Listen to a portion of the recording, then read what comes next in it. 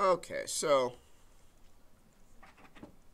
um, so I, I, thought we'd start off a little bit of Mudbox. So If you guys open up Mudbox, uh, and I'm going to show you some of the tools uh, and just go through some things inside of there that help you out.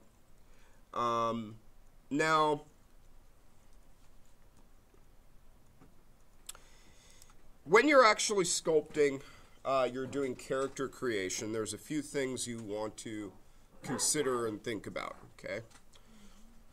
Um, the two programs that people use the most uh, for character sculpting and just sculpting out details on like architectural pieces, machinery, things like that, are ZBrush and Mudbox. Okay, um, they work. The concept is the same with both of them, but they work differently. Um, Mudbox works off of the idea that I'm dealing uh, strictly with a, uh, a mesh. Do I have? Okay. I'm dealing strictly with a mesh uh, that is um, polygonal, right? So either I could start off with one of their templates.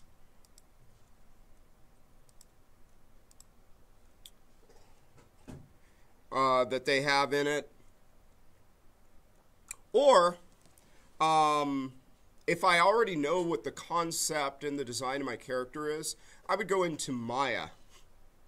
And I would model a low res version of it that I can, that's very, has to be clean, meaning uh, no n-gons, which are multi sided polygons, more than, you know, four sides, no weird uh, topology, that kind of stuff. And I would then bring that into Mudbox and then start subdividing it and adding details that I would need to it. ZBrush works off of the fact that either I could work off of uh, that same premise of bringing in a low-res model and start to detail it out and subdivide it, or you would use things like Z-spheres and voxels to actually just sculpt out of you know this stuff and then have ZBrush convert it to a polygonal surface at some point. And but in either of these cases, when you start to get into a very detailed character, uh, polygonal wise, you can get upwards of 5, 8, 12 million polygons for your sculpt, sometimes even more. And obviously, that model would not function well to to rig or to animate or to have in a game engine or stuff like that. So there has to be a lower res version. And that's when you would do what's called retopologizing. So where you take the high res model and you'd bring it into either Maya and use the 3D modeling tools, or you would bring it into uh, a program called uh, a program like uh, 3D Coat. And 3D Coat is basically a program where you would come in and uh, you take the high res and you literally do what Maya's tools now do, which is you make a low res version of the model that has good edge flow and everything to it. And you would adjust for its topology. So, in other words, if I go in um, 3D model. Topology.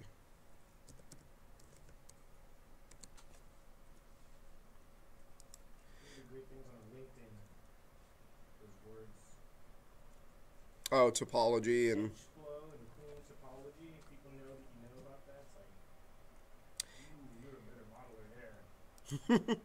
Knowing the lingo does help. Yeah, it's like no, having all those key lingo terms on a LinkedIn. It's like, yes, I know this process. It's like, come on. Now, if I could just get my my interwebs actually going at a reasonable speed. Oh, come on, man.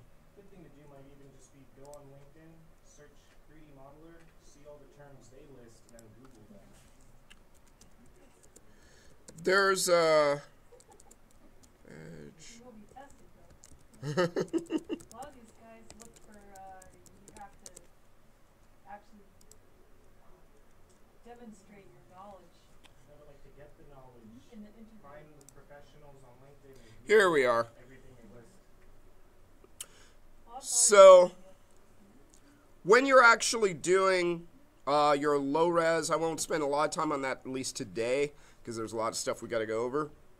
But when you're doing a sculpt like, oh, if I want to sculpt this lady out, you'll notice people will often uh, take the photo, make a layer in Photoshop, and start drawing their plan of attack of how the edge flow and how the wireframe is going to be. And then that's how they would go into Maya and start to create this low res version.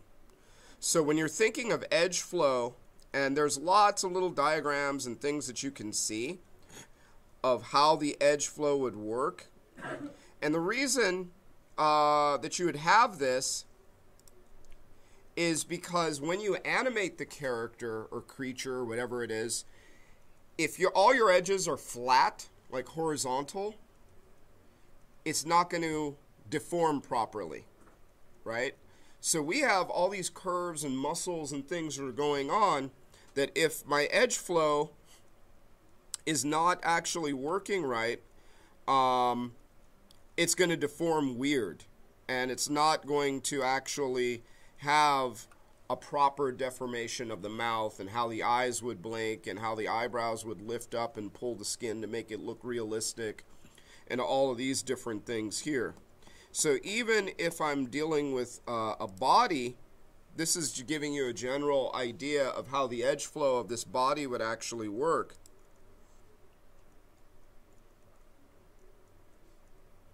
Bink.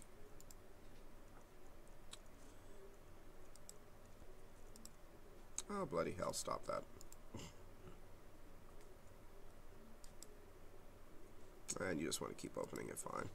But this gives you a good idea of how you can actually see some of this edge flow for if you were breaking something up. So, but first, and you can actually see how the lines are kind of conforming to how the body is shaped, right? So in the pelvis area, it's more like a V shape.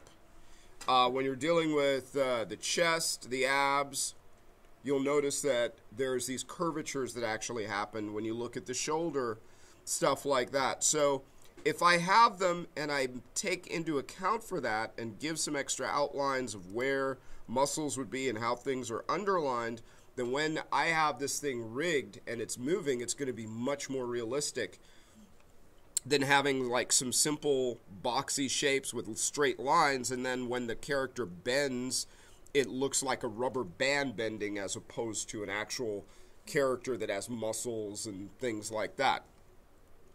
But it all starts with first with having a nice high res character.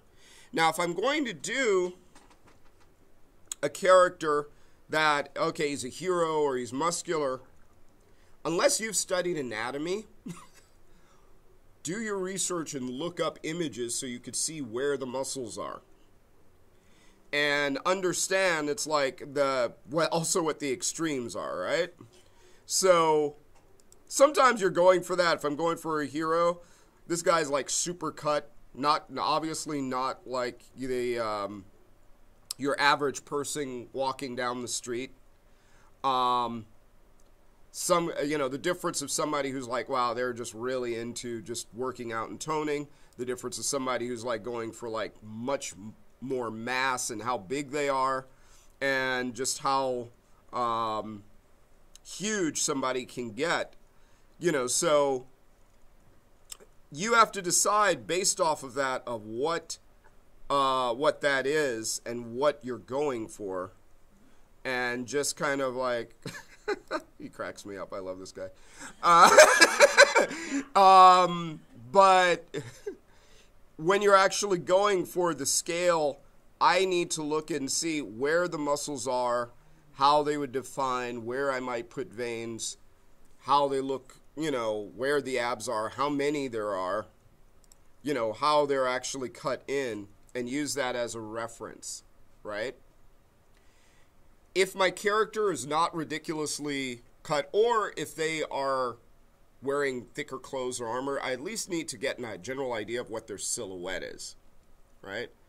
uh, and then go off of that. And that would be my references.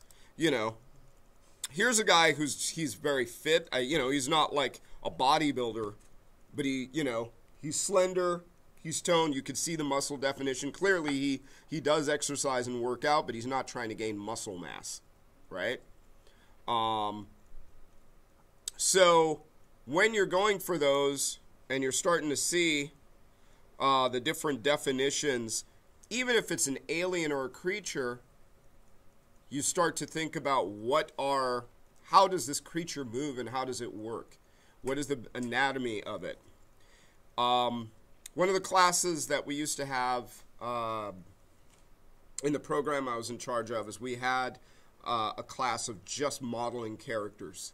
And the very first thing people would do is they would have to make a muscle sculpture showing where the muscles were as so that you could say how they would work and understanding that because that's going to change the silhouette of the body itself, right?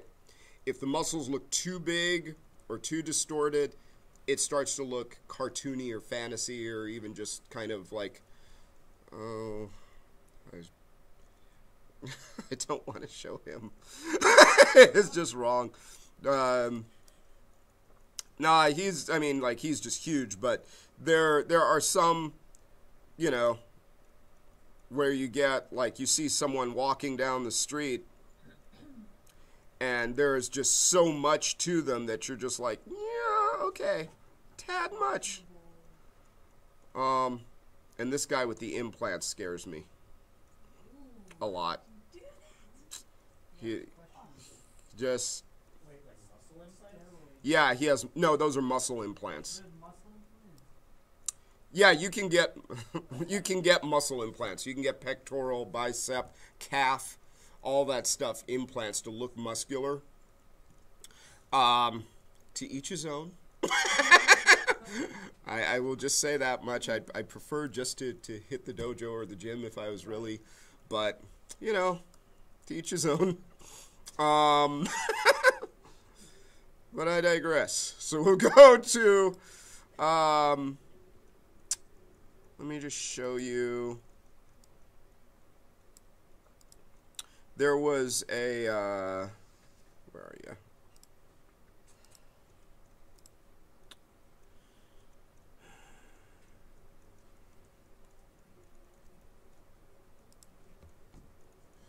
So at one point, I was screwing around and I did this sculpture here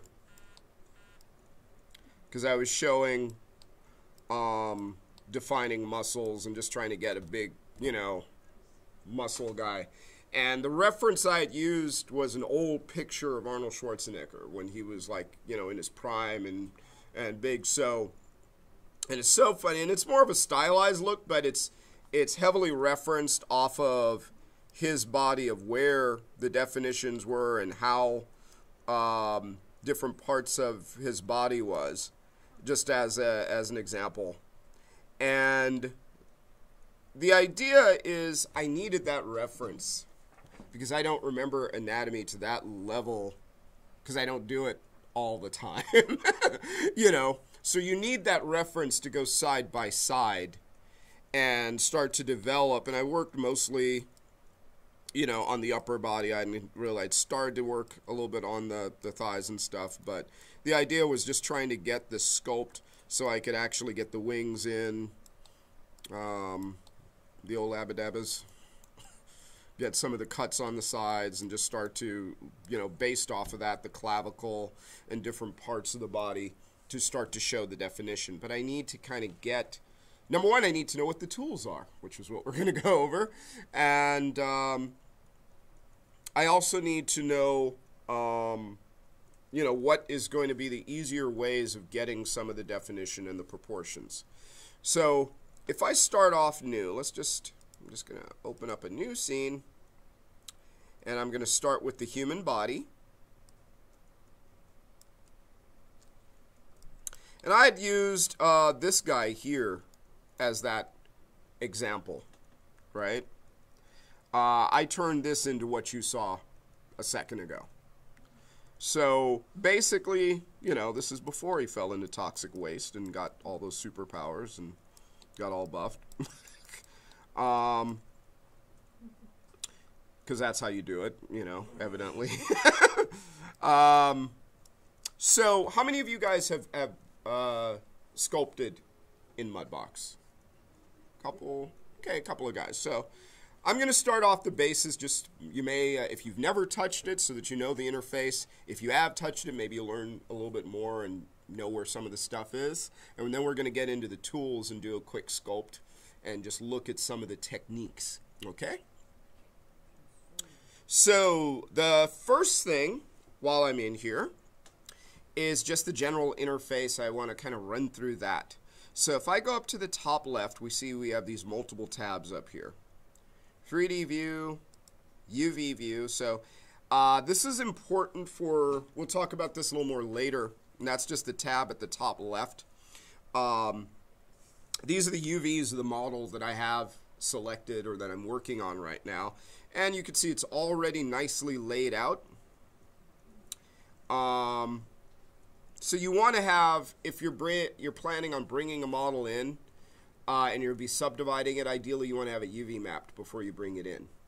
And subdividing it will not change, radically change the UVs, and it saves you time later. Okay. Um, the image browser. So one of the uh, powerful things of Mudbox is that I can bring in images to utilize for sculpting as well as texturing. So I can use different images to sculpt details. Uh, like if I bring in an image as a bit, let's say a bump map, I can use that to create bump map details on the character. I can also use it for texturing and stenciling, which is nice. Uh, Mudbox Community. This is a little forum that you can go to um, where you can actually go in and uh, they'll have all sorts of stuff that you can download models that people have created, textures that people have made, things like that. I don't use it that much, but usually I just bring stuff in, but it is available and sometimes they have some cool stuff. All the way at the bottom left, we have our tabs sculpting tools, paint tools, curve tools, pose tools, and select and move tools. So let's go back to the sculpting tools. Sculpting tools are as, uh, as it sounds. These are the tools I can use um, to sculpt out the character. Yes? I feel like when I sculpted using Mudbox, I feel like the sculpt tool is somewhat similar to the bulge tool, but a more accurate. well, the bulge tool is in there, so you have several. Hold on one sec. So down here, oh, you know what? I'll just turn this off. Whenever I go to one of the tools, this is one of the very nice things about Mudbox, and it's very similar to Maya, but it's even better in Mudbox. When I put my cursor over one of the tools, or one of the properties, it pops open a little box that tells me what that tool is and how it's used. This is really important when you're trying to figure out something and you can't remember, right? So if I go like, oh, what does the grab tool or what does the pinch tool do? And I put the cursor over, um, use the long soft edges to sharpen them. Oh, okay, I get it. And so you can see what all these little tools are just by putting the cursor over it, the tool leaving it there for a second, and then it tells you, you know, what that tool is. So we'll go more into the tools, but here's where I use different tools to sculpt the character, modify the character, um, simulate adding more mesh to the character, cutting the character, uh, imprinting images, like to stamp into the character, um, to amplify details, to freeze parts so that I actually can't affect certain areas, which we'll go over today masking out areas, erasing. So there's a lot of tools.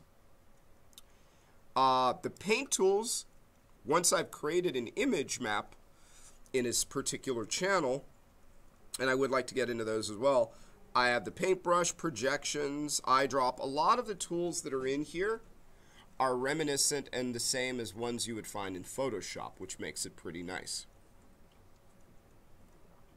curve tools are I can actually bring in curves, draw curves, or make curves that I can use to help me to sculpt. So in other words, if there's some specific details, I'm trying to draw like a circle on my superhero's chest or something or some eh, you know shape. I use the curves just like an illustrator and draw it on his chest. And then when I use the brush, the brush will snap to it and draw it out exactly the way it is. The pose tools are okay. um, so what the pose tools do is they let you draw joints on a character or creature, and then you can rotate it. It there's a little weight that you can scale to actually modify. Like if I wanted his arms more in a T pose than in an A pose. The problem is, is that they're not the best at it, right? So don't do it. I'll just show you. Watch this. So I'm gonna take, um, create a joint, put one right there, and I'm gonna drag it out to about there. And you know what? Actually, and now if I pose it, see there? So, a horror movie or not? But here's how it works if I actually, you know what? I'm going to undo that. I'm going to turn off way, uh, mirroring. And uh, now I'm just going to go, let's say, from here out. And you see what that is? There's this line is what's weighting, what's going to be affected. Right? So now if I go to pose it, do you see that? But do you see what it's doing here? So there are much better ways of, uh, I can actually adjust the weight of it and paint the weights. So if I say, oh, I don't want it to, um, to affect this area or I do want to affect it and then I can actually see so I could weight this more or hold down control and weight it less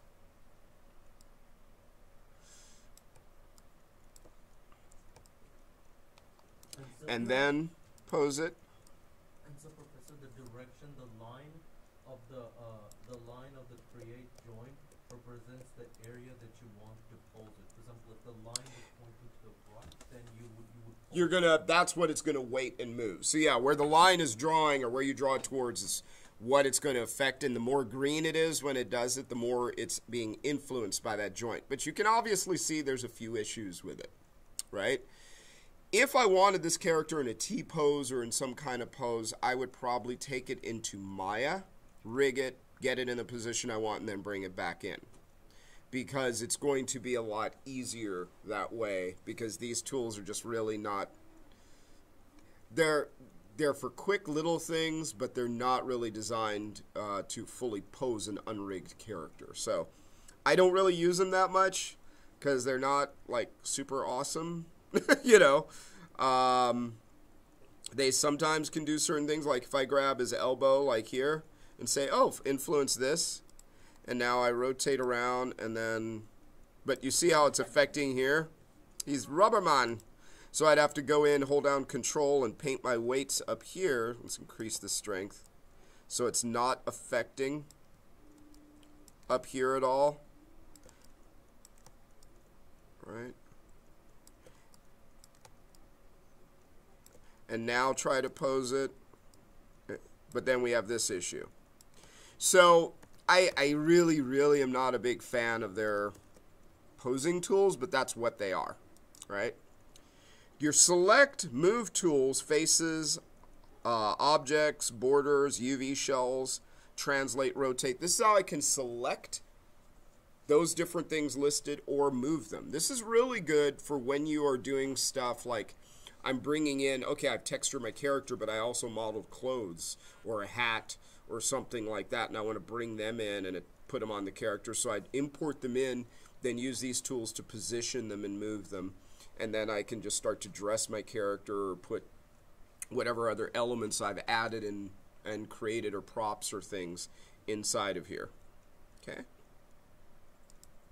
And to the right, I have the stamps, which are, these are all images, and you can bring in your own um, that can be used for sculpting or texturing. We'll sh- I'll show you that soon.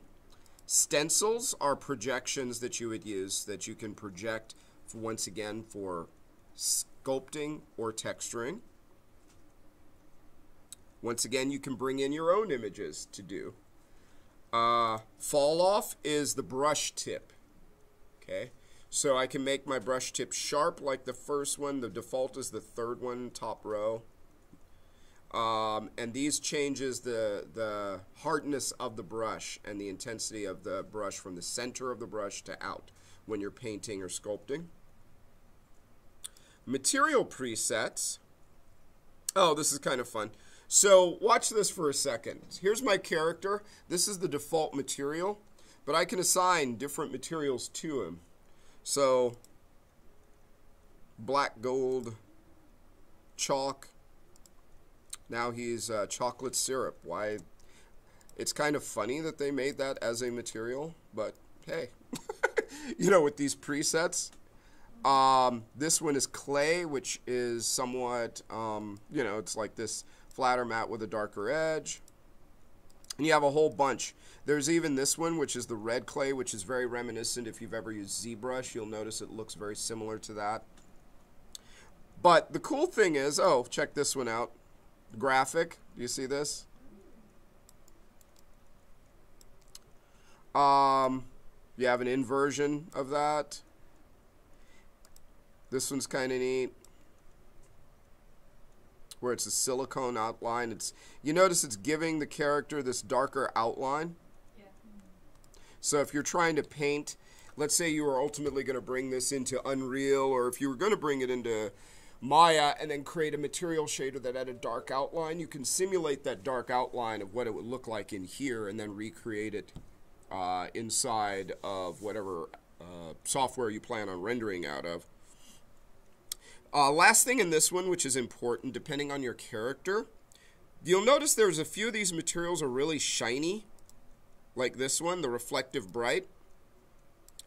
And these have a built-in um, reflective property. So these are really good for, uh, I can use images to show in the reflection. Um, so depending, like these are really good for when I'm doing an eyeball and I want to see a reflection in the eyeball or uh, sunglasses or metals and things like that. And I I still paint in these, and I paint where it's shiny and reflective. Uh, but this gives me the properties turned on so that I can then go in and manipulate them any way that I want. Make sense? I think uh, chalk is, I think, pretty good actually because chalk is fully white and thus you you can freely add any paint, you can like, add any paint. It just depends on what you're trying to do, right? Um, what we'll be doing, we'll be using um, a material that has some shine to it because uh, unless it's stylized, you probably want to have the ability of adding shine and reflection to your character for uh, moisture on their forehead and you know and and oiliness and uh, wet around the eyes, that kind of stuff. So it just depends on what what style and what you're trying to go for. Lighting presets is when we set up, as you click on these, you'll notice that it changes the lighting of your character, and we can also make our own lights. So some of these are good for like a dramatic, check that out. And depending on your machine and how powerful it is, you can just it'll it'll give you a little message like, "Do you want to do this?" Just say stop telling giving me this message and it won't keep popping that up when you switch them. Uh, but if I right click and where are you? Uh, ba, ba, ba, ba, ba. Display. Where is it in here? Every program it's different. Oh, I know where it is. If I go to uh, a particular light, I can turn shadows on, but it will um, have a tendency at times of slowing things down. Um, I'll show you that a little bit later, but it depends on what machine you're on. But you can see that all these actually change what that material looks like, right? It's the same material, it looks different with all the different lighting. For right now, uh, just for the for the moment, let's keep it on the default, which is this one, and we'll change it up later. And Professor, uh, how do you turn on the shadows? Uh, you have to go. I'll show you in a little bit. It's you have to go into the light itself, uh, and then tell it in the light to turn on shadows. I'll show you in just a minute. So once you have this down, oh, and then your camera bookmarks. Like Maya, you can set up bookmarks so that you can zoom in on the face, zoom into different parts. And then the last thing is off to the right, which is one of the most important things, which you have three tabs layers, object list, and viewport filters. In the layers, you have two different types of uh, layers you can do. Paint layers, like in Photoshop, that each have their own transparency. And sculpting layers, which is what we'll be using uh, to add levels of detail. Okay? So I can actually make an entire sculpt on one layer or break it up into several layers. And what that means is imagine I make a character and he's fully detailed like a casual guy, right? And then what I do is I, I want to zombify him, right? So I, I make a brand new sculpting layer and I start sculpting in, you know, there's like his cheek is like caved in and there's parts on it and there's his he has holes in his clothing and he's all like has all these little details that make him look grody. His eyes are receded. I could put that all on one layer and turn it off and on and it will change that level of detail on him, which is kind of nice.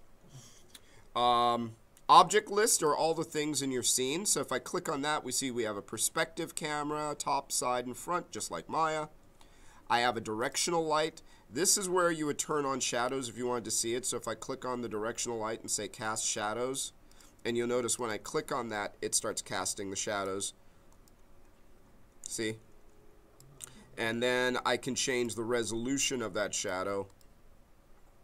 So I clicked on the directional light, and down below it are the properties of whatever I have selected. Uh, Professor, I'm actually not able to see the shadow. Could you please help me? Hold the phone. I'll hit resume. Where were we? Oh, yes. So, uh, I'm going to go back to my layers.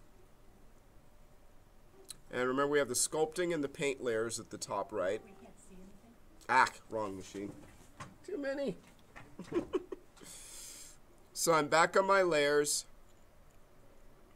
And I'm on the sculpting layers up at the top right. And when you actually look,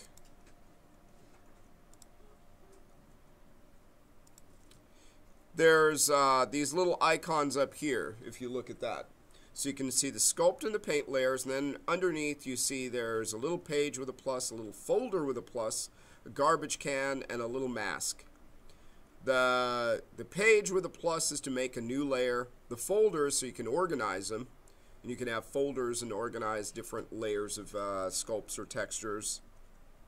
So in other words, like if I, that zombie uh, example I was telling you about earlier, if I made a folder that uh, had zombie, and then each layer, like one layer was like, oh, the skin, you know, uh, sculpt. Another layer was the uh, clothing sculpt, and I could break it up that way. The garbage can, obviously, is to get rid of whatever I have selected, and the little mask is to mask out so I can make an alpha of a sculpt. So without hiding it, I can hide it by painting it away, which is nice, or show it again. So I, it's non-destructive. And I can even tone down some of the sculpt that I have just by minimizing it by adding a mask and painting it like with a lower percentage. Uh, so that's kind of cool.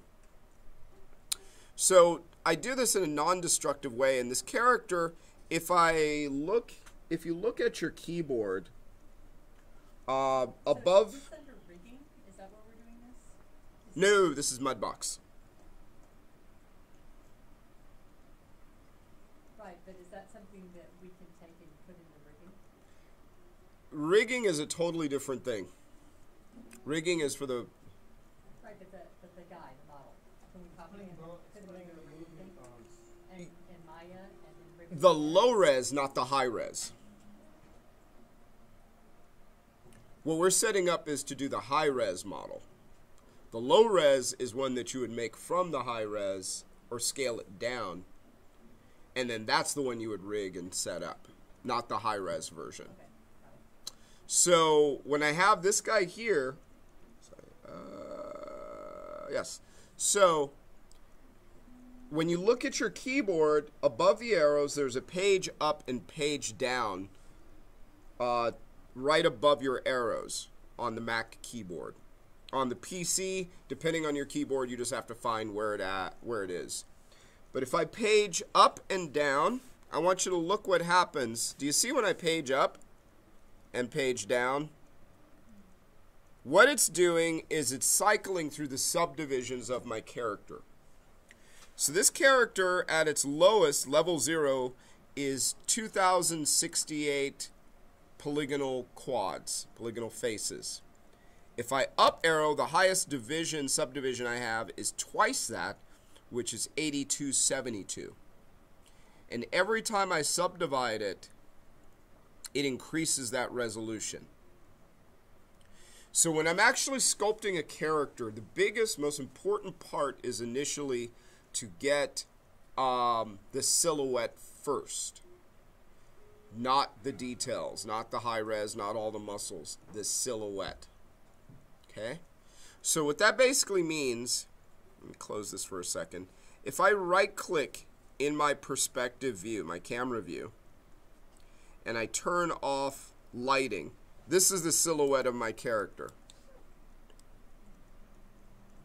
And I want my silhouette to look like what it is going to be and to be strong.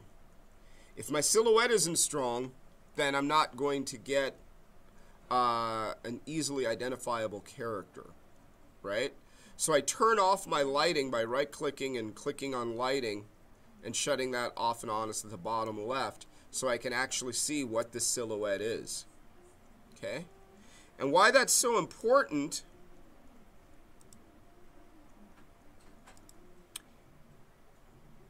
is that if I go in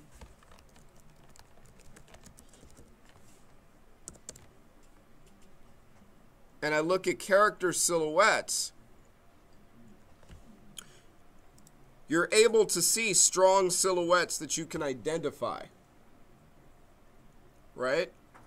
So, the stronger the silhouette, the easier it is for someone to identify that silhouette. Um, you have to look at it from the perspective of not just adults, but little kids, right?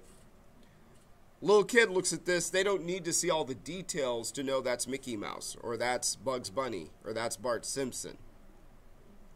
So the silhouette is a very important part of character design. And if I don't have that silhouette that that's identifiable, then it's harder for some people to actually identify what that character is. Right? So if I look at something like this,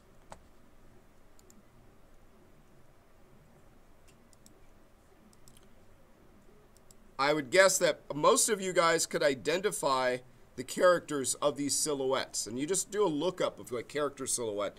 But look at these silhouettes that you have here, right? And most of them you will be able to identify. Some of you will be able to identify all of them, hmm. right? This is without details. This is without wrinkles, pores, color. You can identify them. Those other things are icing on the cake and sometimes a crutch. So if I have a strong silhouette, the rest of this stuff is just icing on the cake. So I want to make my character to have a strong silhouette when I'm actually designing him. Right? So if I go in here and I'm back and I say, oh, you know what, I want this to be like a hero silhouette, then I want to start to sculpt out that silhouette and give him that hero stature, that shape, that V shape with the broad shoulders and, you know, and a muscular silhouette. So to start that off, um, I'm going to start off with uh, a sculpting layer. And right now, our, our friend is not that detailed. If I press W and zoom in, this is the wireframe of him. If I page down, we can see it's even less. And as we subdivide, do you notice he gets smoother? I'm paging up, going from page up to page down. And it takes every quad and it subdivides it into four. So when I subdivide again, all those fours will turn into individual fours and so on and so forth. Not yet though. but yeah, that's how you subdivide. So I'm going to level one. And uh, that's another thing you want to be careful of. A lot of times people boost it up to like six, level 5, level 6 immediately. Yeah, we don't do level 6 soon. you build up to it, right? You get the silhouette with a low res model first, and then you start to, to build it up. So I'm still at level 1. I'm going to create a new sculpting layer just by clicking on that new page under sculpt layers. And I'm going to use, uh, let's use the bulge tool just to add um, a little bit of shape to him. So I'm going to use the bulge tool.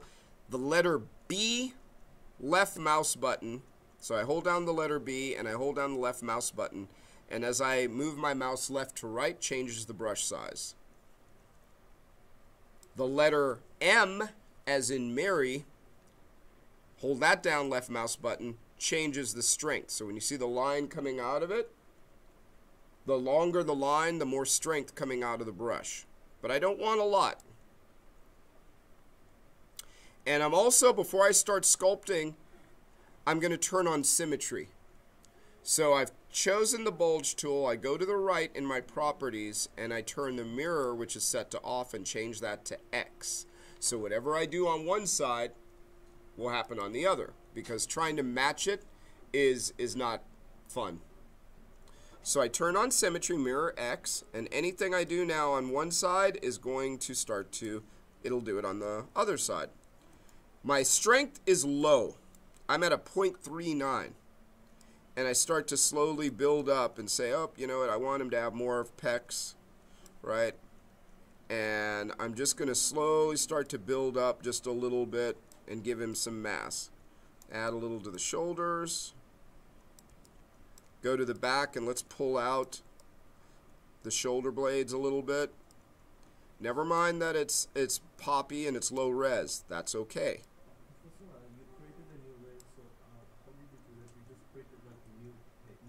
Yep, that's it. and then you then you call it a paint. It's a it's a sculpt layer, so I'm under sculpt. So the sculpt tab is on. Uh, so, so now your so the scope layer is just gonna click, it's gonna put it here. with the Yeah, and I, I made a. New layer. Oh, okay, so it just makes it. That's good. Yeah, you just create another scope layer. You- got it?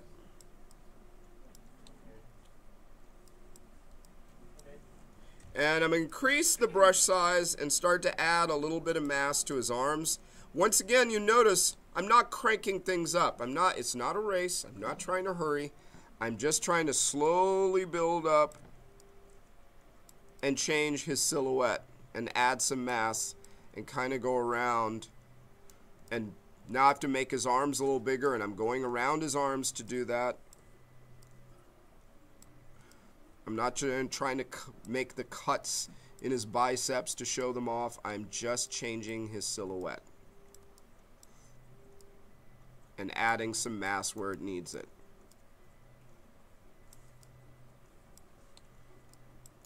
I also go in, check it out, and I start to add with a low intensity just a little bit of where his rib cage is going to be. And his rib cage is going to kind of come, it's up here. Uh, so if we're looking at the body, we have the sternum up here, the solar plexus right here, and then the abs down here. And I'm going to come up, the ribs are going to go up to where uh, the solar plexus are, and then they come down to the sides, and then they come back up here because our ribs are not perfectly just um, cutting across our body. They're, they're curved. They come down from the spine, they dip down on the sides, and they come back up up to around here. Okay. And now I'm going to add just a little bit of mass to where his thighs are. Add some quads to them. Once again, I'm not trying to like, you know, build it out super fast. I'm, I'm just kind of going in and just starting to add some mass to him to kind of shape him out. So you can see I'm starting to develop his shoulder blades a little bit more. I'm keeping the indentation of his spine, added more definition to the ribs. Work on the old glutes.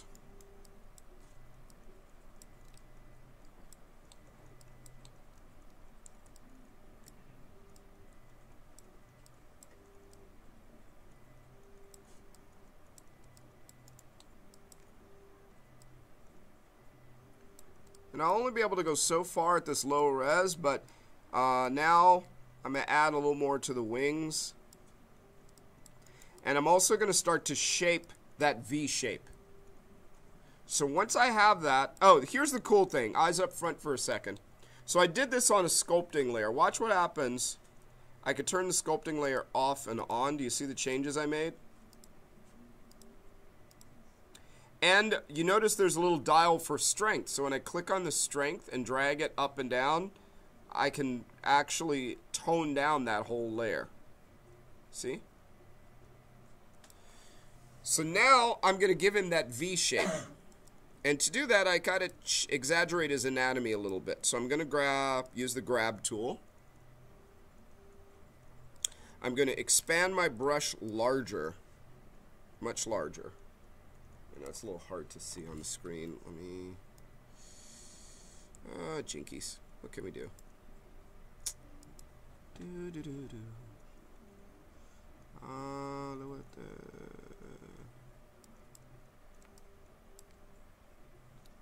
Uh, I don't know if that's much better.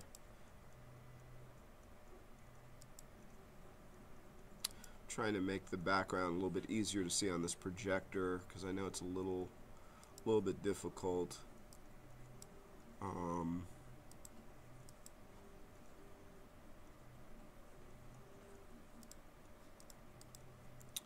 there we go.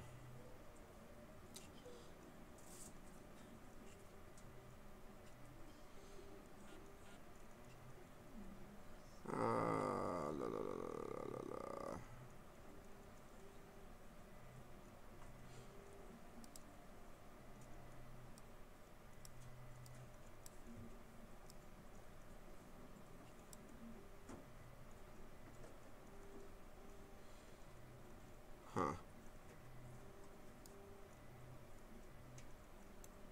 There we go. Can you guys see that a little better? Is that easier? Is that okay? All right, so so now I'm going to take this grab tool. Watch what I do. I'm going to make it bigger. You see how big I'm making it? It's actually uh, covering up half his spine and going past his arm. And uh, from the back, I am gently going to start to pull out his arm and his shoulders a bit to give him that V shape. Let's do a little bit for the front as well. Make sure to uh, adjust the arm as well for that because otherwise he's going to do this weird bendy thing that's not going to look right. And then we'll we'll fix it just a little bit because the heroes are tend to be exaggerated the comic books. I'm going to tighten up that waist just a little bit, pulling that in.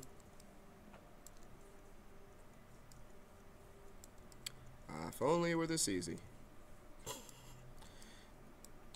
Give this guy wings. Pull those uh, pull those wings out a little bit.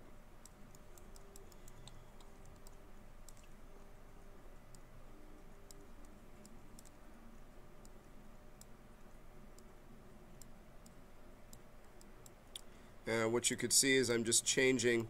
Now I'm going to push his pecs out just a little bit. Just a little bit. Starting to give him you switch. So what you're starting to see is on this low res model more definition of his body, right? So once again, let's do a before and after. Check this out. So we're looking at him like this, front, before, then he falls into a vat of nuclear waste, and he gets ripped. Next week, yeah, all your students are sick. They jumped in a vat of nuclear waste for some reason.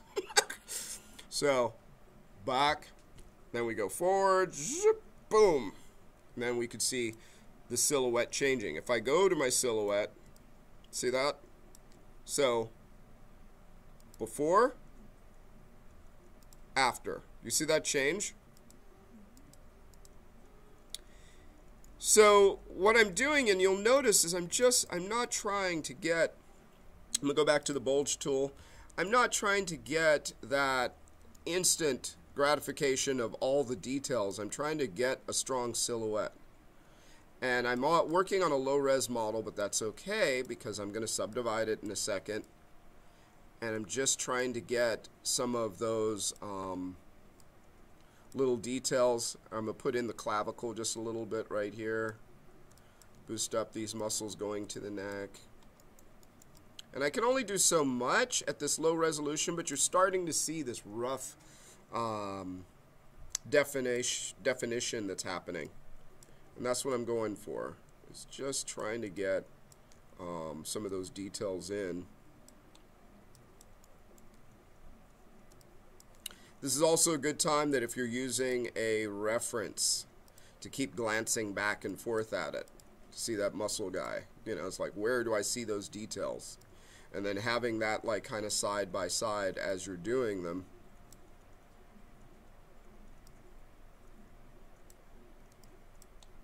of where I'd want those details to be. And I'm not at a high enough resolution where I can get these details, but I'm trying to get just that, that general shape going on. And I'd spend my time just doing that a little bit to get that general shape. This dude works out so much he's like starting to get concave in the stomach. He's concave man.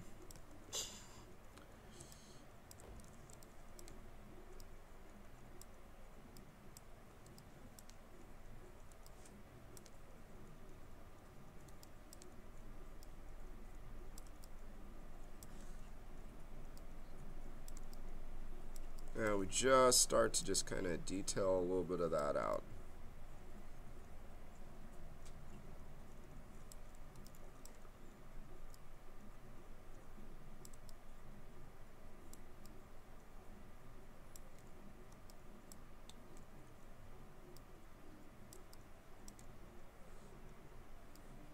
But you get the general idea, right? Once I've gotten that the way I want it, and I've got it as uh, whether exaggerated or, uh, you know, however uh, my muscle guy is,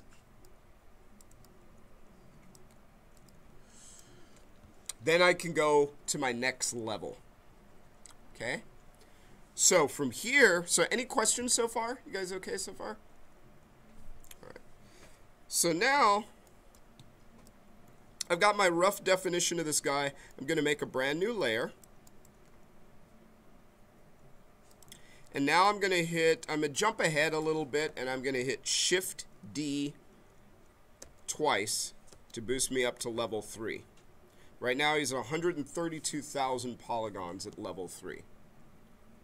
So now, if I hit W and look at it, you can actually see, look at how small these guys are. So if I page down, this is level zero. Check it out. Ooh, if you can. Sorry. Sorry. Level one.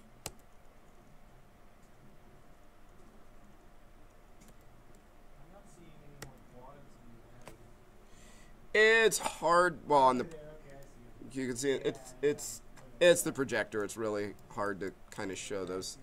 So Yeah, I see, I see the. Cool. So the more, the more obviously the more polygons I have, the more finite detail I can put in. That's why you don't jump to level 5, 6 or 7 immediately because you're you want to build detail on top of small details on top of larger details, not jump immediately to the tiny stuff. Can you erase the subdivision layer? Good question. So it's like if I was to go to like level four, And say oops. sculpting, and then delete it back to level two, what would happen? So what you can do is if you go under uh, mesh, you can delete the highest level. Do you see there's an option? So I can add levels, add new subdivision level options. So if I want to tweak it out, rebuild subdivision levels, delete highest level. You can also reduce and topologize, but my uh, my box is not the best at it, huh? Oh yeah, you're just delete highest level. Yes. You don't typically I believe you can't be on that level when you delete it. You have to be on the one underneath. So if you want to delete level 4 then be on level 3. You are correct. So now you'll notice here's something to note I did it twice. that my Man, this guy is a muscle man. See the Chinese guy at the top? oh yeah, they have definitely Muscle man. Must be hard for his heart. Let's see. So you'll notice next to that first sculpting layer, there's a 1 under the L. That means level 1. And you'll notice now that I created a new one and added subdivisions, level the sculpting layer 1 has a no sign through it. Which means for me to affect that lower level, I have to page down to sub level 1, subdivision 1. Right now I'm in subdivision subdivision 3. So the moment I start painting in this that new sculpting layer, there's going to be a 3 that appears next to it, and I can only paint on this layer when I'm at level 3. Okay? So just to show you, let me go to my bulge tool. And I'm going to start adding a little more detail to the muscles now. And I'm just going to add a little bit to the bicep there. And as I do that now, you'll notice there's a 3 now next to my layer there.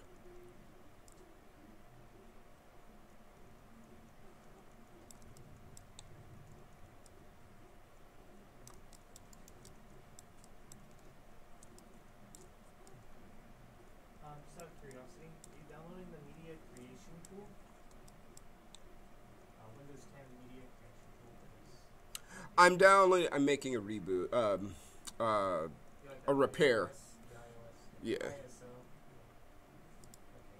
That's you so much. uh-huh. Because uh, when I looked up, there was something called a Windows 10 media creation tool to make the ISO thing. But the uh, computer I downloaded it on over here uh, has no permissions whatsoever, so I can't actually create them on any of these. That's fine. Just because they take time to build that thing.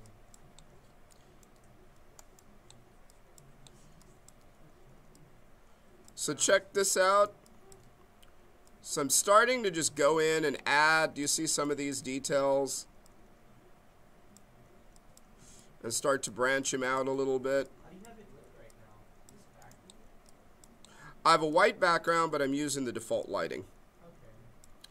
Now, to get the pecs, instead of cutting into them and trying to define it that way, I'm going to show you a little trick. I'm going to use the grab tool.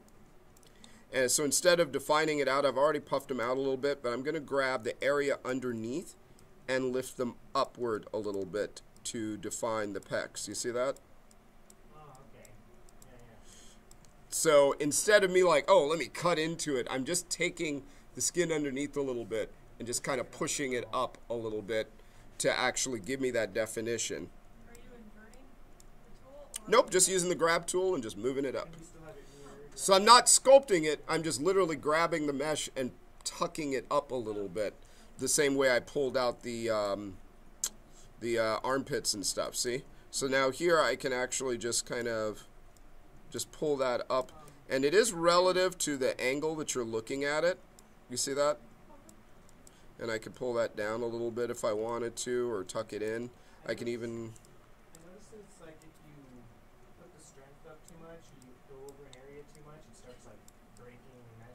Yes. Especially if you're starting to go a little too extreme on the strength and it's not subdivided enough. Yep. I started like breaking stuff and I, I bulged stuff out too much and then I flattened it and it messed faces up. Uh, but at which point, if you've been sculpting for like an hour and everything looks pretty good, but then you've broken some pieces of it, can you still like export it to like Blender or Maya and then like go in and like box select the little broken mesh and like You basically have used the smooth tool to adjust it. The idea is basically when that happens, it means you're rushing. So you build into your process of just taking your time and not rushing into it and building up slowly. Usually those errors happen, and they will happen, but it, or is it also like abusing the program and like trying to just push it a little too? Nah, it's it's just you're you're you're not being precise enough for it. It wants you to actually take your time. It's the idea of like if I'm if I'm painting a masterpiece, there is no time limit.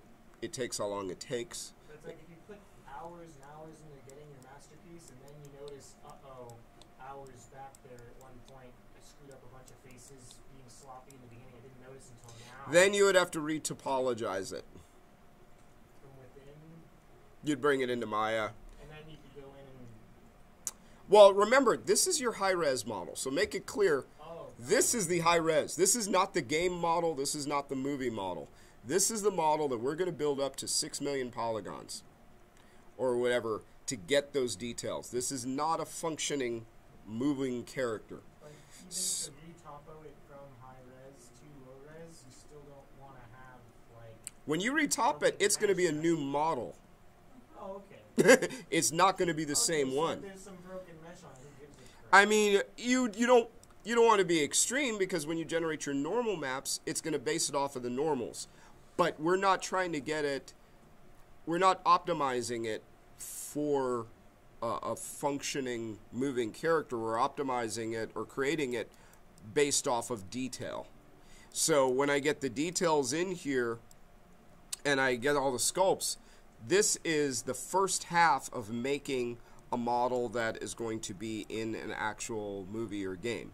This is, but I'm not, I'm not stressing at that point right now for that. I'm, you know, I, I don't want there to be all sorts of weird things going on, and if there is, then, you know, I can zoom it out. Or if I realize where the mistake was, I can mask or hide it out. So in other words, if I had something like Add another layer on top or something. Well, watch this. Like, if I actually take this and I just pull it in like that and I go, oops, I can actually go, as if that was the only thing in that area that I did, I could actually just either mask that out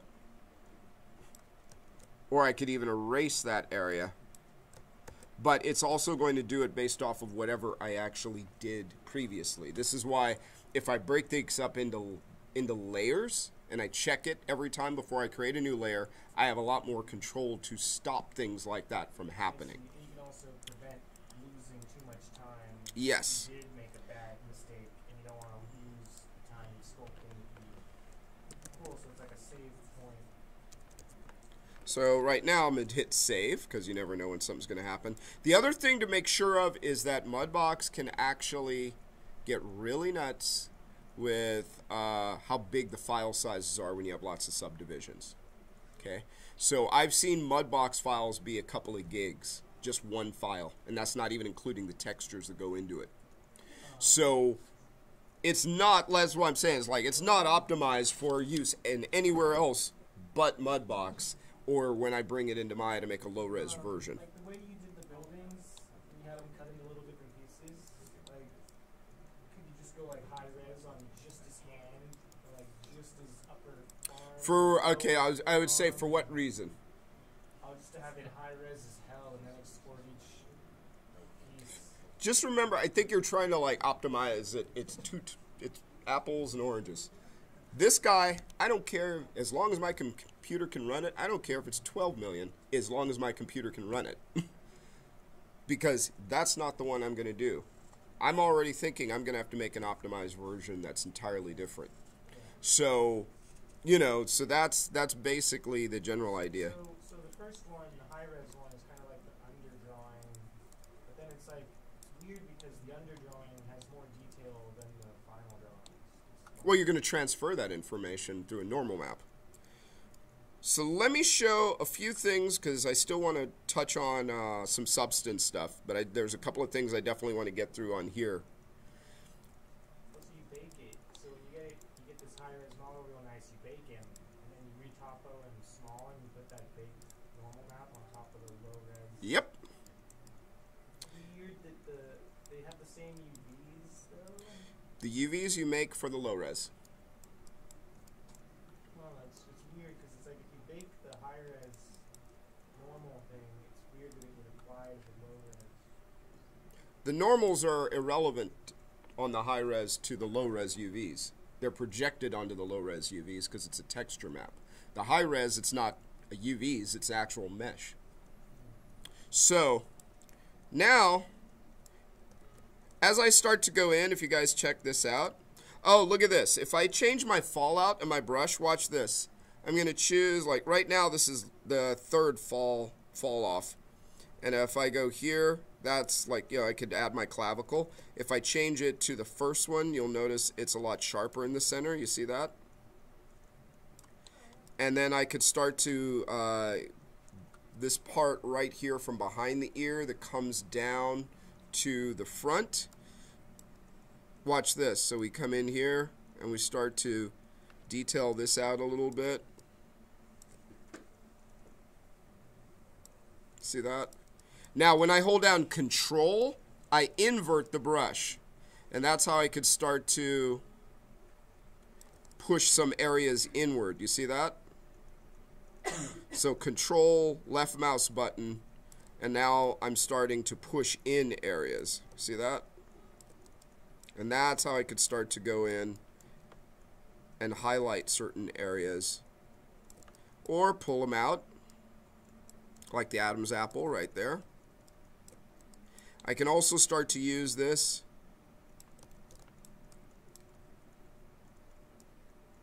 to define out certain areas of like his his chin. Check that out.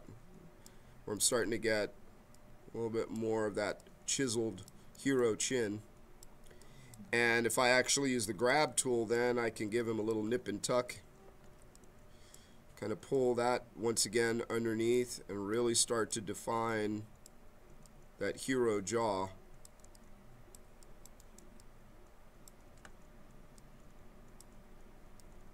On the uh, on the one I had, I just flattened his ears, so his ears were gone. Then I flattened his eyes and nose and mouth, and so his head is just like rounded. And I took one of the stamps and I made it look like he was like like burned really badly and his face like melted off. and I was just like, wow, it could be in like Resident Evil or something. With like you know some gory texture on it. Absolutely, you could do like you have a lot of control over the stuff that you can uh, start to develop inside of here. You could just bulge out bunches of little tentacles and get really sci-fi and weird. And yeah, it's fun. It's pretty fun. There you go. Give him the chin. Gotta have the hero chin. needs a cleft. Cleft. Yeah, we'll give him a cleft. Now check this out. I'm gonna show you just some of the face details and a few of the other tools, and then uh, a couple of other things. Then we'll jump into uh, some substance. So check this out. So there's a few tools I can use to detail out uh, and get more uh, control. Right now he's very smooth. And as we get, you know, to a higher resolution, eventually we'll be able to put pores and wrinkles and stuff like that. I want to shape his face out a little bit more. So what I'm going to do is I'm going to go in, um, and different people have different methods. I'm going to use a low pressure bulge tool and start to develop uh, his cheekbones a little bit. You see that? And I'm using the fall off of one. Is there a way to turn him into like, um, like a wireframe kind of mesh? You mean like you turn the wires on? Um, yeah, more like see-through, like uh, I don't know what that's called. I don't know. You mean like the flat shaded kind of with the wiring on him? Yeah, just more. Or X-ray, I mean. Yeah, that's what I mean. Uh, what's your end game? I guess would be Uh, the just to see more of the edge flow of the face while The- edge flow right now. Once again, that worry worry about that on the low res. Okay. So all that is the low res. Okay, so you do topo it with the nice edge flow. Yes, this is not. This isn't that. This is. you press it onto, right? Kind like mm-hmm. plaster, it plasters onto because it like magnets onto somehow. now. Check this out. Says I'm making these nostrils, and you're like, oh, that's a little bit big. That's okay. We're gonna do something, and I'm gonna go in and I'm gonna use the the grab tool. I'm gonna start to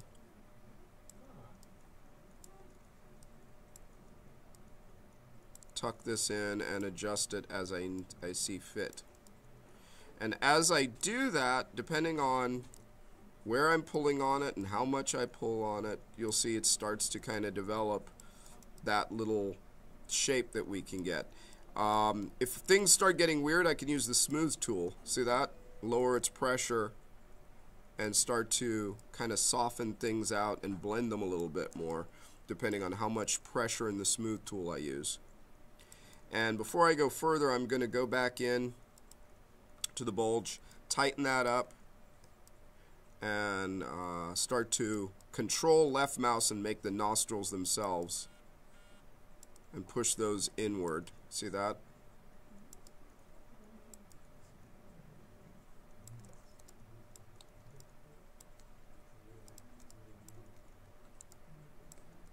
I don't know. I don't know. I don't think the figure is so mechanical.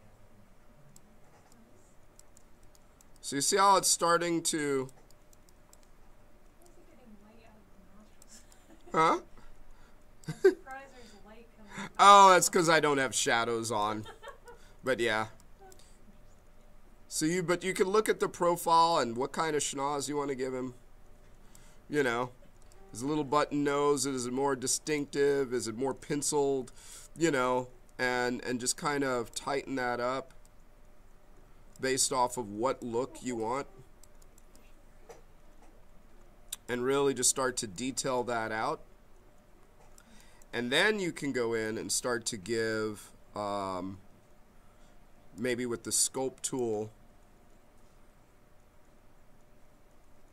turn off stamp, turn off stamp spacing, and let's make sure the fall off is set to one. And I'm gonna remember to lower your pressure. If you don't, oh my gosh, the poor man. So you want to make sure you always check your pressure of how high it is and lower that down as you need it. And then I can go in and start to see that define out certain things. And depending on the scale of the brush and how big it is and the lower pressure. Now, sometimes you'll realize, like, ooh, drawing a line is really difficult. Let me show you how I can draw a line easier and have more control. In your properties, there's something called steady stroke. And when I turn that on, its default is set to 4. So when I actually start drawing with it, look what happens. There's a little dot that comes out of the line, and then I just simply follow it. So what that basically means is that it makes it a lot easier for me to follow a path. See? To start to get that. And then if that's good, that's getting, I can use the smooth tool to soften that up a little bit. So it's not quite as severe.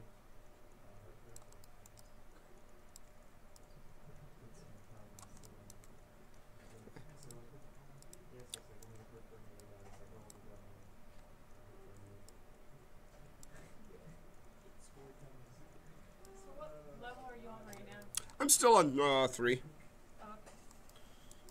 And I'll be able to get even more detail uh, soon, but I'm kind of rushing just because time more than anything else. But uh, you could start to see, define a little bit more of that jaw. There we go. Do you see that how his face is forming? And once again, I'm not trying to do that one hit wonder of just let me do one stroke and it's a masterpiece instantly. You know, I'm trying to actually build up on him and get some of these details. See that? And I'm not making any harsh lines yet. I'm not trying to uh, immediately check it out. We could start to see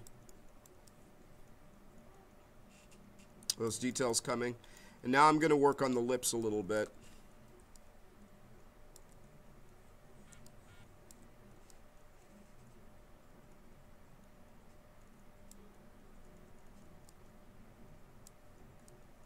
And I'm using um, the bulge with the number one fall off and I'm just kind of outlining a little bit. You'll see why in a second.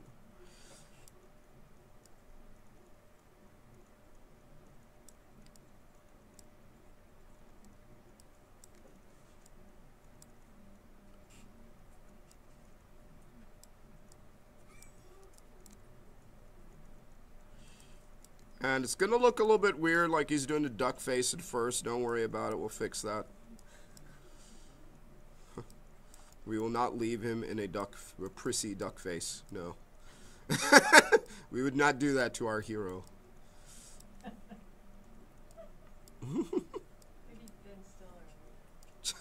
Yeah, Zoolander. You know. No. Contrary to the movie, he was not a hero. So, so I just go in and I start to do that. And I'm going to add just a little bit of detail to the, um, the eyes as well. And I'm just going to make uh, the shape of the eyes kind of pop out a little bit because even if your eyes are receded, your eyeballs are still, you know, spherical and your skin is, is on top of them. So your eyeball, even though your eye sockets are receded, your eyeballs actually come forward and then the eye uh, lids are on top of them. So I'm just going to pop those out just a little bit so that I can make the eyelids on top of them a bit. And I'll get their placement more later. But yes, he is doing the duck face right now. Sorry, hero. Just for a second. So. Okay. Yeah, I know with the chiseled jaw and the sucked in cheeks, it's doing it even more. But, so what we're going to do now, I'm going to jump ahead so I can show you guys extra detail. So what I'm going to do is I'm going to make a brand new layer.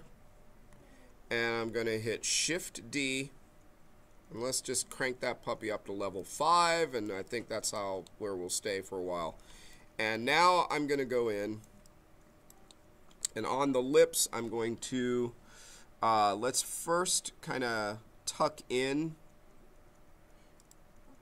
Let's use the, where are you? Where are you, my knife tool? Eh, there you are. So I'm going to use the knife tool. I'm going to lower the intensity a lot. And I'm going to check that out. Do you see that? Where I just cut right in or like did this little cut. So I use the knife tool, low intensity. I'm at a 0.09, okay? And I'm not doing a perfect straight line because guess what? We don't have perfect straight lines on us, right? So I've got this knife tool. I've kind of sliced into there to part his lips. And now I'm going to show you a really cool trick. So we go to the sculpt tool, we go to the stamps, and we go all the way to the right. And on the right side, you'll notice at the stamps, uh, there's these gray boxes. If you put your cursor over them, uh, and this will also help for if they're really dinky on your screen right now, which again, I apologize. Uh, but if you, it'll show a name. Choose the one that is called Edge, uh, V Edge ED, VDM and select that one. So you'll see a little gray box. It's called, if you put your cursor over it, it will say um, Stamps V Edge VDM TIFF. And you'll see in my tool, so I'm on the sculpt tool and I select it, and you see it says use a uh, stamp image. And what I'm going to do is I'm going to zoom into that and I'm going to make sure certain things are set. So I want it to follow the path, which is this one. I do not want it to randomize, so make sure that's unchecked. Um, um, um, um, let's try no stamp spacing for right now. And, uh, okay, so now when I go across, oops, this one you do have to crank up fairly high, so, yeah, crank you up even higher. Oops, too much. So, all right, I'm going to lower that down. And actually, you know what? Let's, yeah. Okay, turn on stamp spacing. And let's do... Obviously, it will depend on the details of your character and how you did it, but watch this first before you try it. Let me crank it up so you can see what it's doing first. So, and I'll do it along down here and then go back up to the face. So I'm going to make my brush larger. And what I can do is as I pull it, do you see what it's doing? Let me crank it up even higher.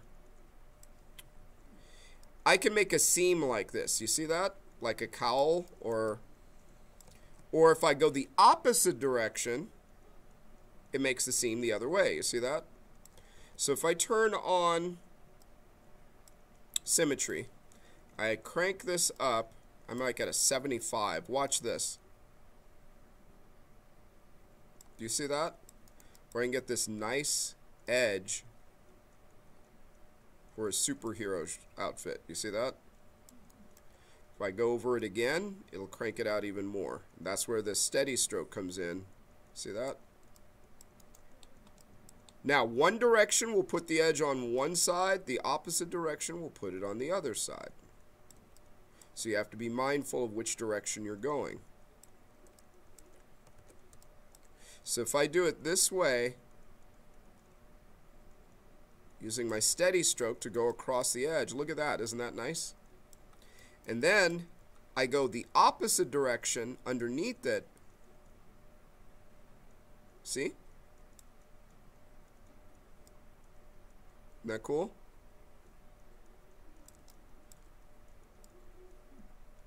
The higher the resolution, the cleaner it'll be. But you can see, man, that looks pretty cool. That's, look at that. What's your strength 75 with a stamp spacing of 11.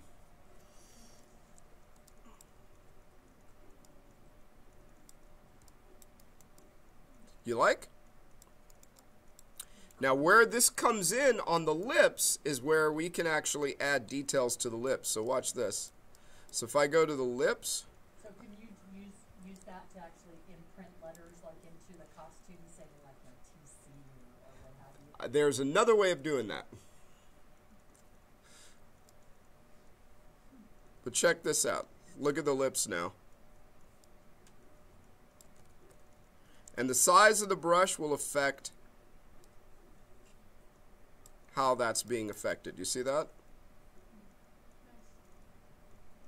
And then we can use the grab tool if we want. Check it out. This is kind of funny. We do want him to have that smirk, look.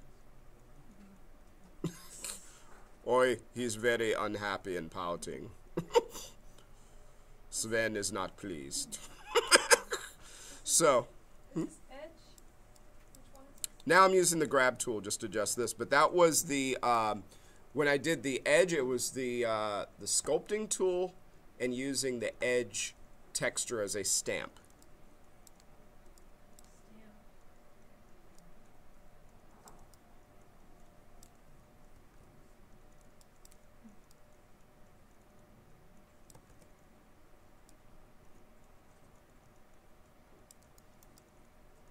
But do you see that? Check it out.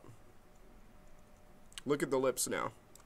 And then if I want to, I can just use a smooth tool just to soften the edges just a little bit. Because your lips actually aren't just these harsh lines. They blend into your mouth. They just have just certain features that, you know, that make it look like they would be lines. But I don't want it to be like super hard lines with them. See that?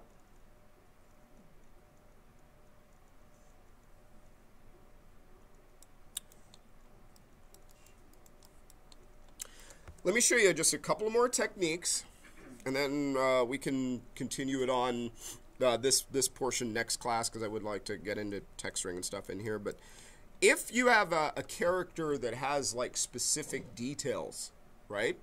Maybe he's like you know the body armor that you know. Uh, uh, that that's very popular in hero movies now, where it's like this skin tight body armor, and you can see the seams. Let me show you how to do that. Check this out. I use my knife tool, and let's say I'm going to cut a seam right here. Oops. And that looks good, but I'm going to crank it up just a little bit. Not by much, a little bit. And let's say I'm going to cut it like this. You see that? So I've got this, but here's where you get to make it look even cooler. Now that I have that in, use your pinch tool, turn on steady stroke, and go across it and watch what happens. Oops, let me crank it up, it's a little low.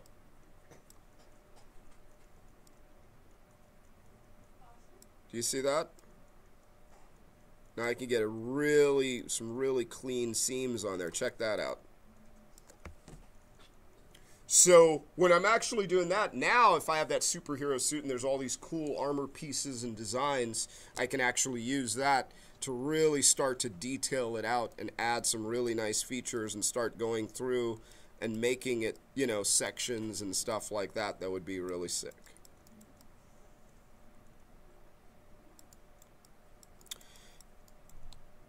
If I have images, I can stencil them in. So, like, if uh, the Superman shield or something like that, I can bring in an image and project it and stencil it onto his chest. Right?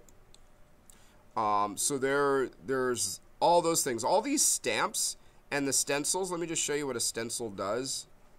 So, like, there's the, uh, oh, here's a circle stencil right here that I'm using. And what you'll notice is to the bottom left are the controls on how to use it. Move the stencil is S plus middle button. Rotate the stencil is S plus left. Scale it is S plus right. And to hide it so it's not you being used is Q. So whatever image I'm using or whatever I bring in, I can actually use that. And let's say S, right mouse button, here's the circle. So I zoom in, the stencil stays the same. Zoom out. On this one, I would probably use, I could use my bulge, I could use my sculpt. Let's use the bulge. Make sure that when you go back to the sculpting tool, if you're going to use that to turn off the stamp image, because otherwise it's going to use whatever that you had last, and you'll wonder why it's not working right. So I'm going to go to the bulge tool. Let's just try that. I'm going to turn off mirror for this particular thing.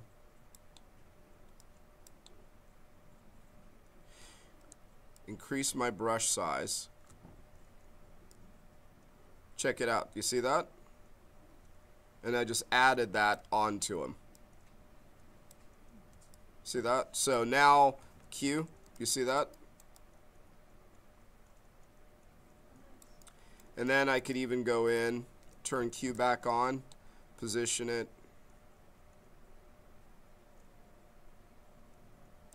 And now I will invert it by holding down control, push it in. See?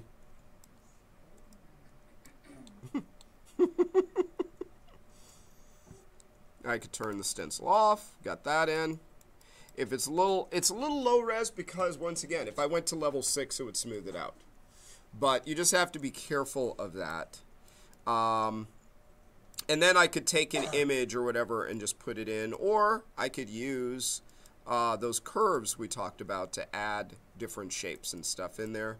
If I want to just give it a subtle smooth, I would just use the smooth tool and then just lightly go over that. You see that just to soften it out a little bit. Now it's not doesn't have those rough edges. Just to soften it a little bit. But any projection I use when I use my stencils,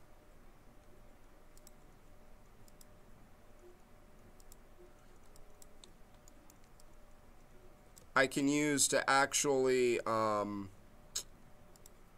create, look at that texture, you see that? So stenciling this gives me this. Just like if I had chosen a different one like Brick. He's Bricko Man. Either that or when he was flying, he ran smack dab into a brick wall. So, like, if I did that, ouch, he's just learning. Watch out for that tree. So any of these that you actually get, you can actually toss at it, and you can bring in your own images.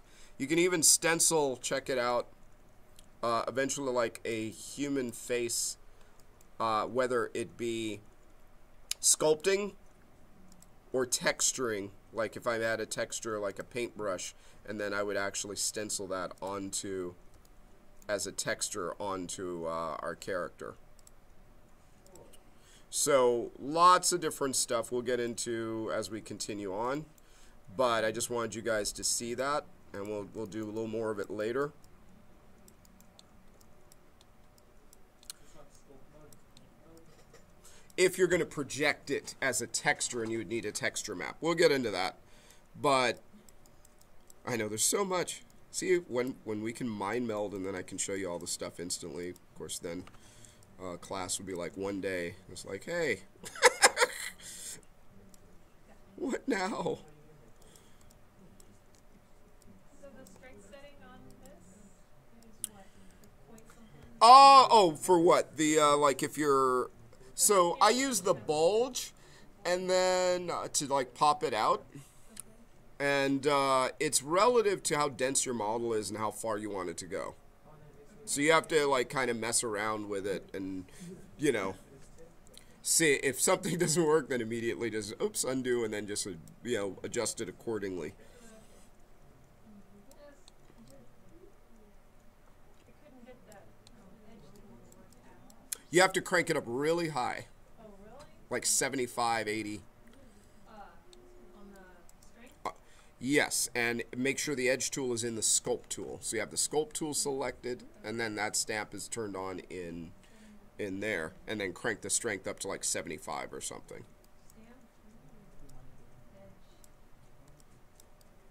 And that's also what I would use if I were doing uh, just sculpting the eyelids.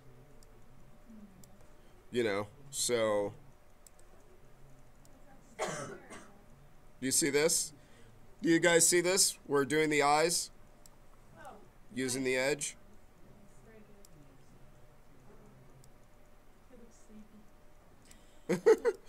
But if you have something like this and you go, oops, that's a little bit off, then I just use the grab tool and just tuck the eyes over just a little bit so that they are more to where I would want them. See?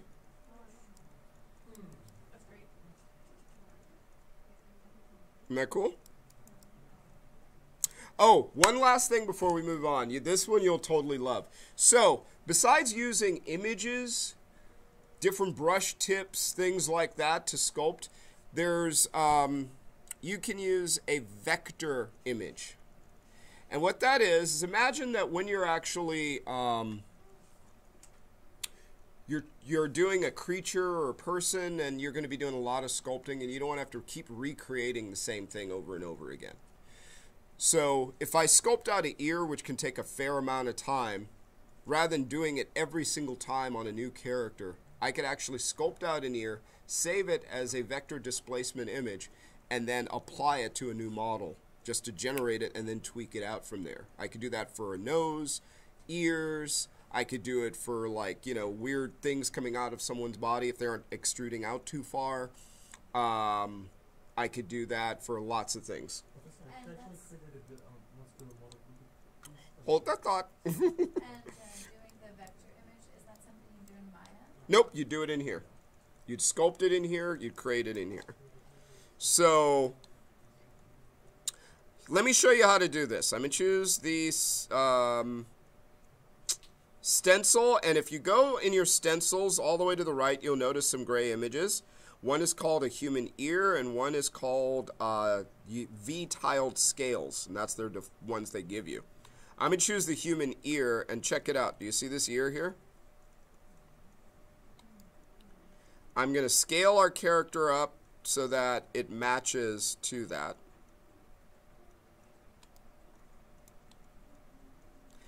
And I could do this a few different ways. Okay, I can, uh, oops, you know what? Jinkies, shut that off. I want to, you want to choose which, um, how you want to place that.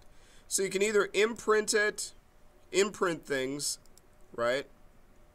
Or you can actually, what I'm going to do is, uh, instead of imprinting it, I'm just simply going to go in and choose uh, the sculpt. And I'm going to choose that ear as a stencil. And now, watch me do this before you do it, just so you can see. So I have it in scale. I'm going to line it up the way I want. I'm going to crank up the strength pretty high, and when I say high, it's like at around 68 or something. And watch what happens when I just go over this. And I'm just going back and forth all over it to get that sculpt in. And I'm going to hide it and take a look. So, I could have lined it up a little bit better, but you get the idea. Right? And once you have it in there, then you can use the grab tool and start to adjust it. So let me show you that again. Sculpting tool. We choose that uh, vector displacement. We got that here. Uh, stencil.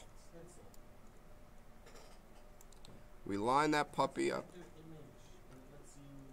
Because it's a three-dimensional image. It it's almost like a normal map in some ways, but it's actually a displacement that will sculpt it.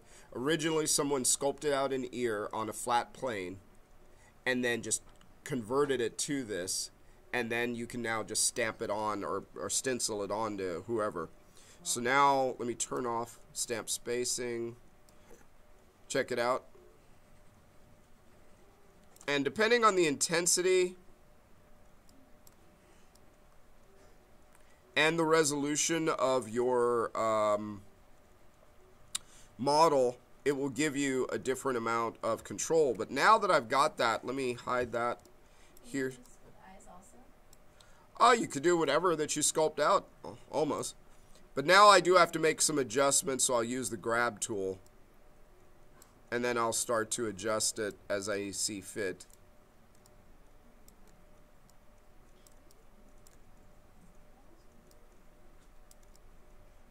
And then check it out. Now I could adjust him. Look at this. This is fun. So we could actually tighten it up. And now we can actually get him, give him a little more lobes. Let's make him more elfy. Or Vulcan.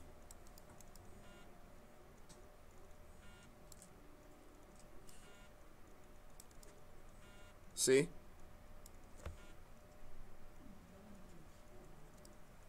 And I could even go in now with the grab tool. Uh-oh, some stuff's about to go down. Make him a little bit angrier, pull his, uh...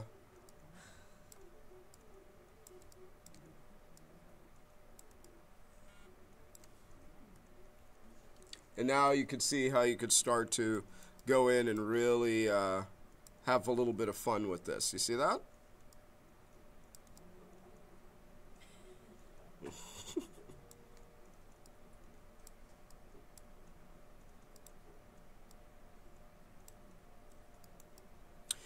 Uh, that other one we talked about, the scales, check this out. These are the scales here, and here's another little trick.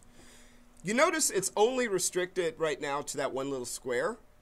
I can actually go in and tile this, whatever I'm using.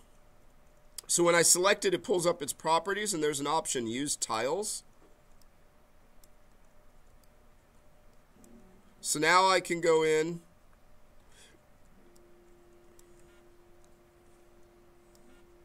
Oops. I go now.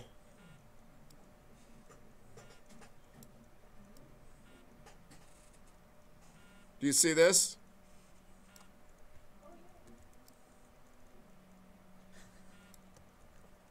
So depending on how I actually do that,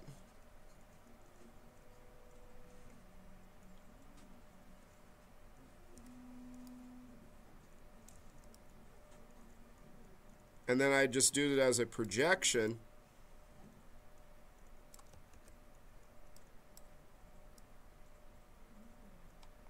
And of course, if I had this as a uh,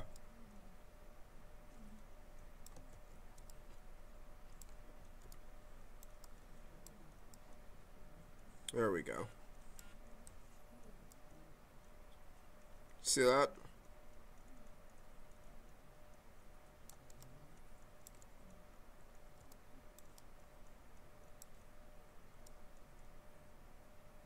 Check it out.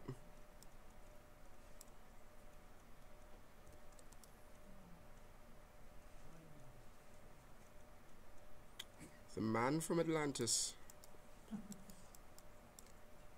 With male pattern scales going on, so yeah, it's awesome.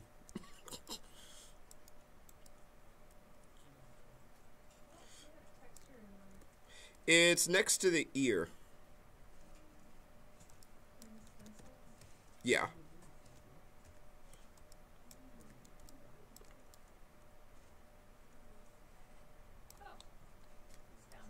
See? So see? Uh, when you select it, go into the options. There's one says use tiles. So if you click on that one, just click use tiles, and then it will uh, allow you to tile that. Uh. Cool. So this is really cool when you're like, if I'm doing a creature, and I'm trying to get, you know, trying to get certain looks for my creature. See? Looks like a lot of work. So I, I noticed that it's actually has an up and down pattern, but then when you see it on the stencil, it doesn't look like that. Well, you can rotate it. So if I have it here, Yeah. so it'll be whatever direction that I actually set it to. And then it'll actually go in that. So if I rotate it like this, now it's going up. You see? Yeah, I see.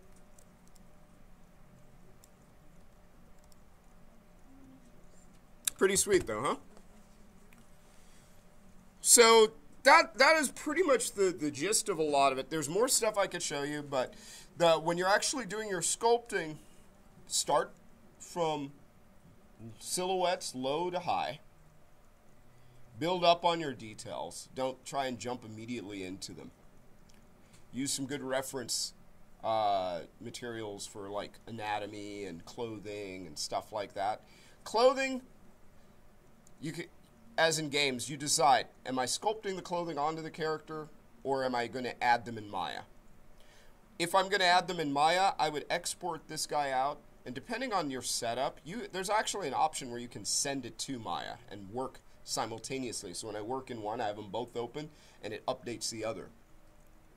It's a little wonky, to, especially if you have multiple versions of Maya and Mudbox on your machine. So usually I just export it out as an FBX, import it into Maya, and then model my clothing onto the character so that it fits. And can you use this in Unity and um, for gaming also? The when you make the retopologized version, remember this is the high res. So you use it for the design. You can use it for the texturing, but it's the low res that goes in. The low res, in this case, since I started with a model that it created, so I'd make this one, but to generate my low res, do you guys want to see that? Just uh, as far as so, what I could do. Let's say this guy is all finished, right? But this is my level five version, which is two million one hundred seventeen thousand six hundred thirty-two polygons. Would not fly in a game.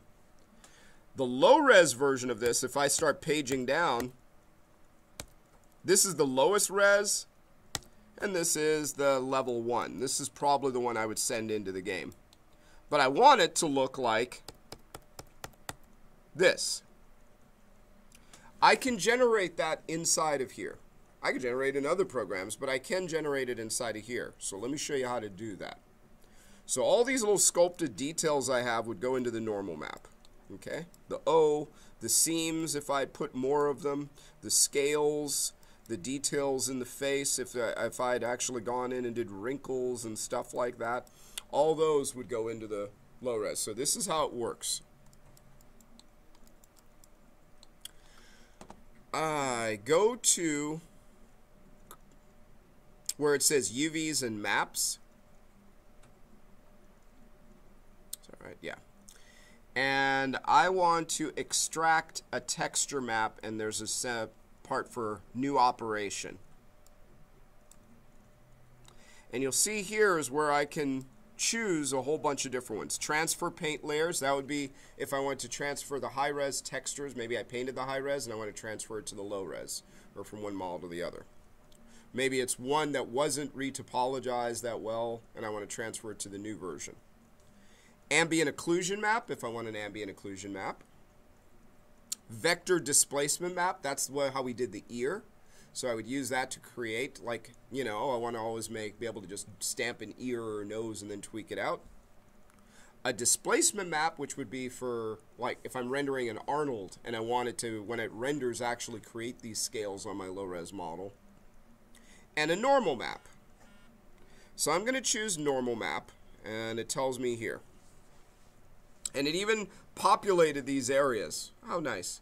So it's asking me, like, oh, the target model is it level 0 or 1? Ah, we'll go with level 1. Let's not go super low res. The source is the same one, level 5. This is nice. The newer version actually pops that in. Um, when we get down to here, and it does the same thing. When I put my cursor over stuff, it shows me different things. Method, we're going to use ray casting. Uh, if uh, choose subdivision if you know the source and target meshes have the same topology. I could use subdivisions in this case, but I'm just going to use ray casting. Uh, choose samples.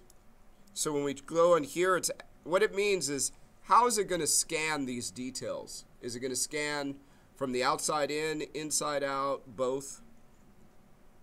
I'm going to say uh, and it gives you furthest outside, furthest inside, closest uh, to low res uh, mesh. I'm going to say furthest outside. And then the search distance, um, I usually I hit best guess and then add an extra value. So it's saying 18, I'm going to go 19. And just even it off. And then it's saying, okay, generate one map for all targets. This means if I have multiple objects, like sometimes your character will be multiple pieces when you bring it in, but ultimately you're going to bring it together or just something different. Do I want to have all the normal maps on one texture file, or do I want them separated for every mesh? And I'm going to say, give me a 2K uh, image size with some anti-aliasing to soften it up, just a 2X. So a 2K should give me a decent normal map off of here. And, uh, oh, compatibility. This one's weird. So, Maya, this is actually important, especially for you guys doing game stuff.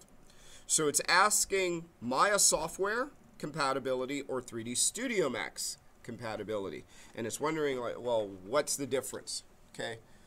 If you've noticed, um, I don't know if you guys have messed with Studio Max at all, but some programs translate Y as up and down, like Maya, and other programs translate Z is up and down. And that's basically what it is asking. Which one of these are, am I, what's my output? What's my end game? If I'm going into a game engine where Z is up and down, then I'd want to choose Studio Max. If it's Y is up and down, then I'd want to choose uh, the Maya version. That's really what the difference is because it kind of rotates what the XYZ axis is of a normal map. Does that make sense? So it'll be a little bit off. You know if Unity and Maya are the same? Uh, I forgot what Unity. You guys would know before because I don't use Unity that much of what's up and down, whether it's Y or Z. Hold on one sec, Vivek. I'll be right. Uh, so I'm just gonna choose for right now um, Maya. Let's say we would just show it in there, and we're gonna go tangent space because it's normal maps. Yes, we're generating a texture, not a Ptex and the file name. This is where you choose um, where it's going to go and what the name is going to be.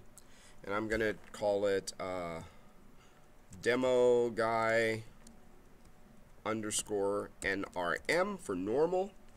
And it asks you like what file type. Um, I usually use TIFFs and Targas, but uh, you can use a PNG and stuff like that. But I'm just going to say uh, um, a Targa. And save. And it's 8-bit preview preview as a normal map. Yes I do want to do that. And then once it's all set up and I've got all my goodies in here I hit extract and it'll take a minute for it to calculate it and then I'll show you what the difference is so here's a little menu is telling you it's not it's faster than Maya is. See? It already finished it. Yay. Okay. Now I close it. Now check this out. So here's my guy. And I might have to make some changes. I could see some things wrong. But I'm going to page down. Watch this. All the way to 1. There's my normal map. If I go to my paint text, uh, paint layers, without the normal map, with the normal map. So that's my low res with the normal map. How cool is that? Without it, with it. There's some errors right in here because he, uh, I probably could tighten up the scan, but what's happening is it's getting confused when it's scanning it right there. So if I'm getting that problem, I could either take the high res and low res mesh and put it into something like um, Substance Painter or um, Substance Designer and crank out a normal map and it's a little bit more accurate. Another option I have is to paint the normal map to try and fix some things. So not by color, but what I usually will do is I'm on the normal map and I'll use something like the blur tool and then see that when I paint the normal map in the blur tool to get rid of some of these little errors I have here. Just to smooth that out a bit. Won't work for everything, but for something like that where it's a miscalculation, that cleans it up pretty quick. And that's my normal map on a low res guy. Now he looks like the high res. See? Pretty sweet, huh? That's why some of those things that you guys were asking earlier isn't going to matter as much because this is the version that's going to go into the game engine. This one is much, much lower resolution. Right? So basically, Professor, I see like in the beginning, what you did is for each layer you created, you work with each subdivision. You can have multiple layers of the same subdivision. You break it up on details, but yes, you do do uh, break it up into there. For example, if you wanted if you wanted to create a layer of sculpting, then you create a layer of sculpting and sculpting that layer. And if you wanted to paint, you create another layer and dedicate that layer to solely and strictly painting. Yeah, and you can have multiple layers, just like in Photoshop for painting. We didn't get a chance to get into it. So what But- that mean, what that mean basically is you can have multiple paint layers. For example, one paint layer you can paint on top of another paint. Absolutely. Absolutely. Chauncey? Um, yeah, I was going to say, uh, coming from like second life, uh, you know, your character would have like hair is a separate piece, eyes would be like a separate piece, clothes would be separate pieces, you have like separate hands and stuff. Mm-hmm.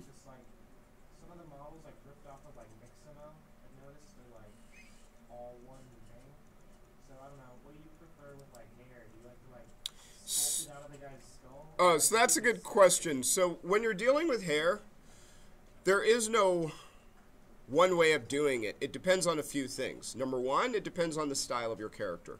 Some characters have that molded hair like Jimmy Neutron, right? It's just this big molded, sculpted shape, right? And then you paint it with hair on it. That's one version. Now, if you have that, that could be a separate mesh that could either be molded or it could be um, cards. So, what you would do is you would make polygonal cards um, that would go on the hair. So, if I actually went like um, Gears of War models. So, if I wanted to see, where is he? Marcus. Yeah, it's because I've seen like some characters have hair built into their face, and other people have. It and yeah, there once again. There's no um. Oh, Dom. That was it. Um. So this is where it's like more molded, right there. But it, and I'm looking for it. I can't find it. Dom has like a whole bunch of cards.